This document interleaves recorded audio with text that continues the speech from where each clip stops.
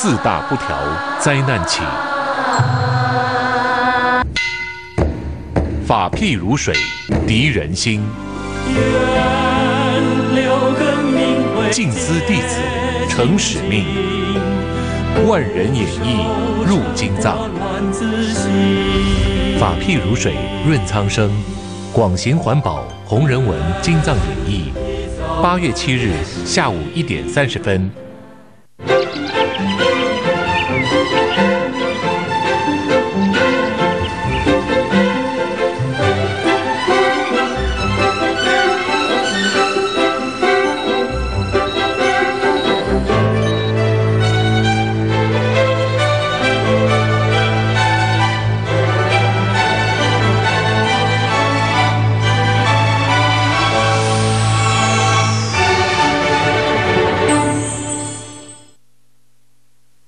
全球的观众朋友，大家好，欢迎您收看《大爱一线观》啊。这个父母为其疾之忧啊，就是说父母亲自己生病的时候，倒也没觉得那么大不了。但是只要是小孩子生病啊，这个呃警报系统就马上往上提升啊。一个十四岁的一个啊年轻呃男孩啊，那么妈告诉妈妈说他这个。背痛啊，不舒服啊，所以妈妈当然非常非常紧张，她自己也有背痛，但是啊，已经忍了很久啊。但是小孩子背痛不得了，赶快带到医院里。很多的医院就给他做了一个检查，我们可以看得到，给他照一个 X 光啊，这是胸部的 X 光，但是主要是要看的是这个脊椎。的一个走向啊，大家看这个胸部 X 光，当然这个心脏没有问题，肺脏没有什么问题啊。哎，可是这个脊椎怎么会是这样子呢？那我们再从往下看的时候，哎，这个这个好像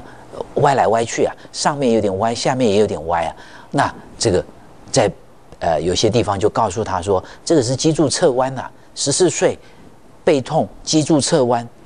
好像听起来很有道理啊。那就跟他讲说，这个没有关系啊，继续在追踪啊。哎，只要他的一个角度啊，给他量起来，刚刚那样的角度，大概二十多度的一个角度啊，所以再继续追踪，应该就比较啊没有什么问题啊。可是不对，回去以后那个痛的情形啊，非常非常的明显啊。那就辗转到我们这个骨科来，骨科的简主任呢，就跟他仔细的一个检查，就有时候这个做人呢，要在有一处不宜呀。哎，这是胡适讲的话，就是说我们跟朋友接呃接触的话，呃，即使有什么怀疑啊，也不要怀疑啊。做人要在有疑处不疑呀，可是做学问啊，要在不疑之处有疑呀。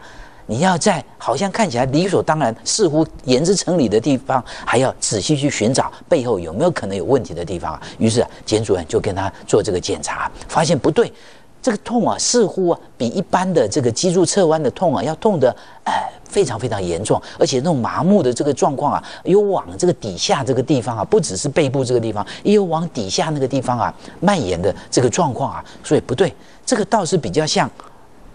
椎间盘突出去压到神经的状况啊，哎，赶快再问这个之前有没有什么受伤的这个呃情形啊？一问之下有，四个月前啊有一次从楼梯哎稍微摔倒坐倒。直接撞到屁股这个地方来，所以这个病史再加上临床这样的一个检查，高度怀疑啊，于是给他做了这样核磁共振的检查。我们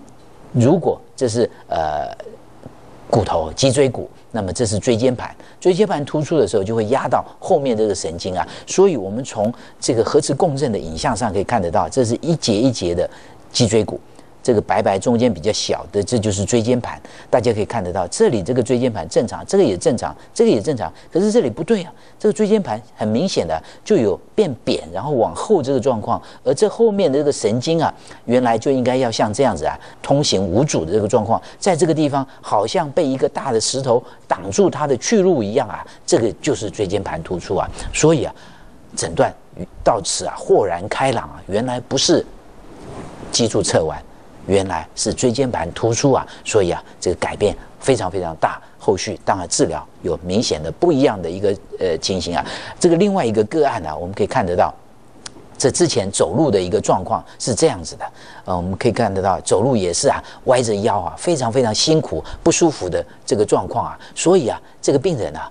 后来做什么？呃，也是认为说，哎，是不是又是年轻人的关系啊？是不是也是脊柱侧弯呐？所以他哎走路会这样弯。脊柱侧弯的走路大概不会弯到这么离谱啊。这是疼痛所造成我们身体啊这个姿势上有时候要去克服这样的一个疼痛啊，让那个刺激减少，所以产生出来一种比较哎。不正常的这个姿势啊，这个是形成的原因是这样子啊。那最后的呃诊断，这个也是椎间盘突出啊，也是年轻人啊啊，年轻人刚刚讲说撞到这个问题以外，有时候搬重物啊，突然间的一个使力搬重物，弯腰然后没有蹲下去的状况下，使力搬重物。当然这不只是年轻人，所有人都有可能有这样的一个状况，就会让我们的椎间盘有突出这个可能性啊。这个病人我们可以看得到他的姿势啊是这样子啊。歪到一边来，也很像脊柱侧弯啊。那事实上，开完刀以后，处理完以后，大家可以看到这里有一个伤口在这里啊，小小的伤口，可是啊，马上就变成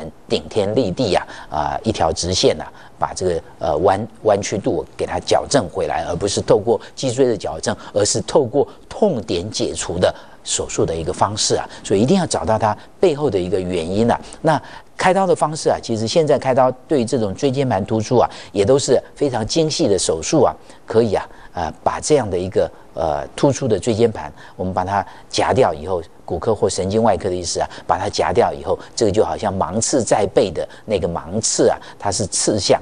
脊椎啊，所以那种神经的敏感度啊，我们是不在话下，引起的疼痛当然会那么样的一个剧烈。哎，这个椎间盘的一个状况就很像是一个缓冲剂啊。我们这个骨头跟骨头之间呢，如果没有这个软东西啊，我们大家想，如果一天到晚硬碰硬的话，这个世界啊，哎。会发生很大的问题啊！哎，如果中间有一些缓和的这样软的一个东西在的话，它可以啊，在这样的一个呃动荡中啊，呃往上往下跳动的过程中啊，它可以把这个力道给它卸除掉。往前往后也是一样啊，它富含有水分啊，还有弹性啊，就会把这样的一个脊椎啊之间的一个撞击啊力道减少。但是大家可想。如果这个往后的一个结果会怎么样呢？因为这个神经的位置啊，就是在这个地方。如果这个椎间盘往后的时候，我们就可想而知啊，它会压迫到这边的这个脊髓神经啊。当然，临床的一些症状啊，就会以疼痛以及它压的一个位置不同而产生出不一样的这些症状出来。不过，疼痛大概是绝对避免不了的这个症状啊，压到这个。椎间盘，这是我们从前面往后面看的时候，这个椎间盘压到这里，压到神经或者神经根等等啊，都有可能造成局部的一个背痛以外，还有像坐骨神经痛的这个症状就会表现出来。所以这个当然开刀把它解除掉的时候，当然也不是说所有椎间盘突出就是要开刀，还可以经过复健一段时间，看看有没有帮忙。但是如果临床的症状牵涉到，运动或者是牵涉到呃大小便这方面问题的时候，大概还是要赶快的跟他解决。这是小朋友歪 U 一些症啊痛，我们要考考虑到不只是这个呃脊柱侧弯，还要考虑到椎间盘的一个问题啊。年纪大也是歪 U，那可能有什么样的一个问题啊？我们也要考虑到，这就是退化性的这个呃脊椎啊，它会引起骨刺啊，以及这个局部的一个神经压迫，因为脊柱在那个地方啊。它的空间呢比较狭小，所以在有一些骨刺的一个状况之下，也可能压迫到神经根，也可能压迫到神经。所以老年人同样是歪腰歪掉的时候，我们要注意到这种退化性在脊椎所产生的变化的可能性。当然，还是有一大部分在年轻人这个歪。腰歪掉的一个原因，就是因为脊柱侧弯，它歪的一个位置可能是在呃胸腔这个地方，也可能在我们的这个呃腰部这个地方啊。但是临床上我们可以做一个判定的话，倒不是只只是从这个呃这样的一个刻度来做判定。我们可以看到肩胛骨两边的肩胛骨，尤其是在弯下去以后，可以明显看到有一边比较高的这个状况的时候，这个大概是临床上可以给我们很大的一个指标，是有可能这个。脊柱侧弯的一个状况啊，那侧弯以后，我们要请这个骨科的专家们啊，他们会来判定，哎，因为呃弯的这个好像程度啊，也有很大很大的一个不同啊，有的会比较严重一点，有的比较不是那么严重。那怎么判定它严重程度啊？大概骨科的医师啊，会从这个呃开始弯的一个地方做一个标示，然后到比较没有弯的正常位置做个标示，然后两边。画垂直线做一个交叉的时候，来量出它的一个角度的一个问题啊。如果角度大概二十几度以下的话，大概观察二十几度到四十度的一个状况的时候，必要的时候啊，哎，就会使用所谓背架这方面来做一些外在的一个辅助啊。那如果大于四十几度的一个状况的时候，某些呃这个考量就是要做这个手术啊，重新把这个呃歪的一个脊柱给它截弯曲直啊，那这样的一个结果能够达到呃，尤其现在呃慢慢进步，不一定说开完以后整个腰都不会动，脊柱都冰冻住这个状况啊。不过最重要防止腰酸背痛的，恐怕都还不是这个，最重要就是良好的生活仪态。立如松，坐如钟。感恩您的收看，我们再会。